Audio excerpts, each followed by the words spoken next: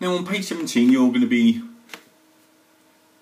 doing the instrument panel. So remove the part which is S37 from its fret and then you need to prime it and then paint it black.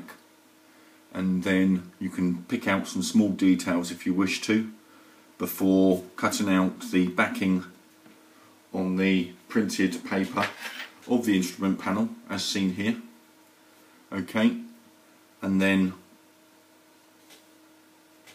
once we got that you will then be putting the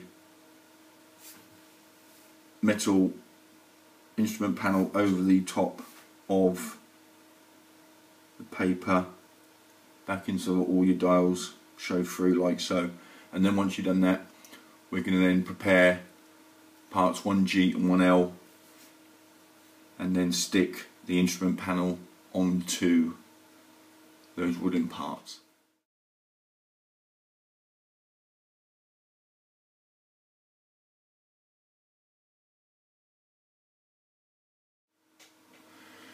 Now, as you can see, we've continued with the stages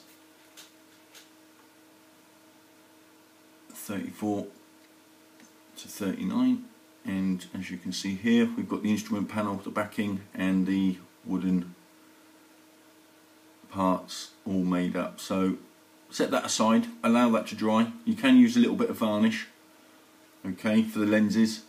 Let that to dry and once you've done that you then need to take the control levers. And as you can see here once you've cleaned them up and as shown in stage 40 you've got the parts SDO6 and I don't know if you can see that. We then place them into position at the front. If you can't see that just look at the photograph and you'll see them in there. So glue those into position and then we're going to add the instrument panel and the seats that we assembled earlier.